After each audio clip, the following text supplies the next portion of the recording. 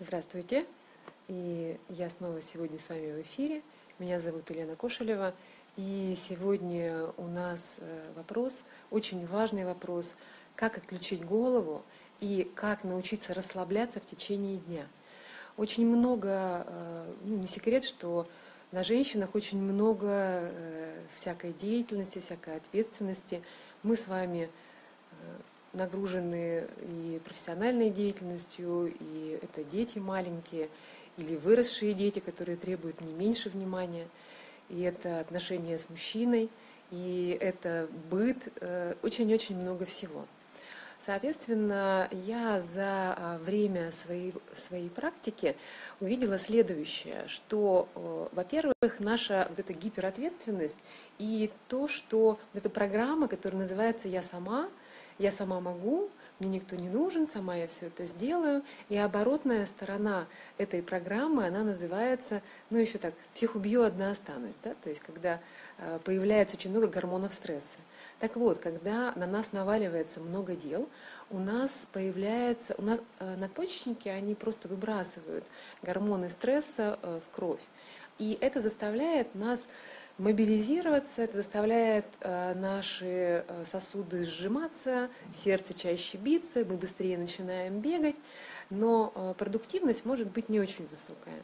Поэтому первый вопрос, который вы себе задаете, когда вдруг на вас наваливается очень много дел, и вы выбираете, делать вам или не делать. Первый вопрос, могу я это не делать? Или а могу я это перенести по времени, чтобы дать себе больше времени? Или могу я это отложить? Э, задайте себе эти вопросы, чтобы э, понять важность э, вот этого дела, которое, за которое вы переживаете. Второе – это кто бы мне мог помочь, кто бы меня мог довести, кто бы меня мог там, заменить, и кому я могу делегировать вот это важное что мне кажется важным, да, кому я могу это делегировать. То есть это очень важные моменты в своей голове э, вот на эти вопросы ответить. Потому что э, на самом деле тело живет в настоящем, и э, самый лучший способ это переключиться на свое тело. И если в момент, когда вы понимаете, что ваша голова вас настолько уже загнала в тупик, и настолько вас уже обессилило, что вы понимаете, например, что вы там не успеваете, и тут и дети, и звонки по телефону, и мужчина недоволен чем-то, и какие-то другие водные.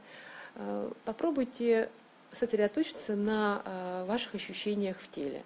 У нас э, в теле есть э, мощные такие женские пространства, о которых я рассказываю на занятиях, и это три женских магнита, либо три женские чаши в нашем теле. Это прямо реальные такие физические образования, которые имеют форму чаши. И наша задача свое внимание научиться переключать. Вот этот навык переключения в ощущение своего тела, они, э, этот навык, он нарабатывается. Это как мы заучиваем стих, это как мы, например, э, там, выучиваем танец. То есть наше тело, оно запоминает определенную последовательность вот этих вот действий, и, соответственно, вы можете э, ее воспроизвести, повторить.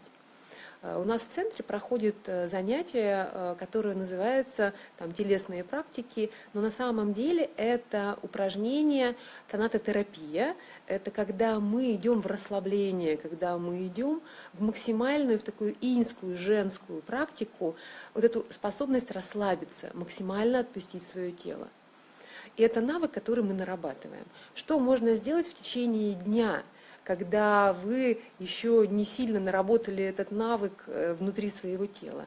Первое, вы сосредотачиваетесь на своем дыхании и на своих ощущениях. Можно себя прогладить, девочки, то есть можно вернуть себе вот это ощущение тела, что с вами все в порядке. И что даже если вы опоздаете на какой-то промежуток времени, ничего страшного ни с вами, ни с людьми, ни с какими не произойдет. Ну, конечно, если это там не жизненно важная встреча, там, не поездка в, ну, там, в аэропорт там, или еще что-то. Хотя и здесь тоже есть варианты.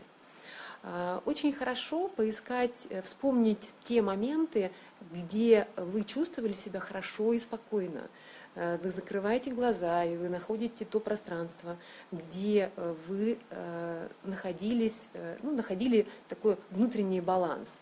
Мы на индивидуальных занятиях с внутренней девочкой находим внутри это пространство, и оно у вас всегда под рукой.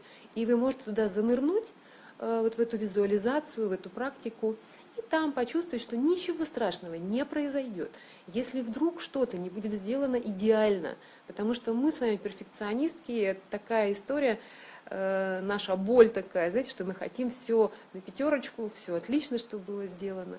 Поэтому наша задача все-таки э, ну, переключаться немножко, потому что перфекционизм и отношения, и жизнь – это разные вещи. Никогда ничего в жизни не происходит идеально дети у нас такие, какие есть, и мужчины у нас такие, какие они есть. И вся женская сила – это не в том, чтобы, знаете, там, мы женщины, мы маги там, или еще что-то, а вся женская сила в принятии. В принятии. И э, весь э, женский Сатурн, да, вот эта мощная планета, которая позволяет нам выдерживать любые нагрузки. Это временная планета, которая помогает нам сохранять вот этот контакт со временем, Э, наша задача э, все-таки принимать, и э, принятие – это наша женская сила, и это очень много нужно в себе ну, так, проработать, да, чтобы позволить чему-то просто происходить.